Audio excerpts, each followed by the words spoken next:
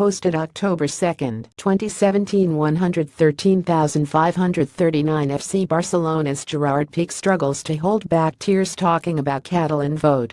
Source ABC News Duration 1 Min 54 Sec Topics Territorial disputes, government and politics, world politics, Spain Sixer, soccer, Spain.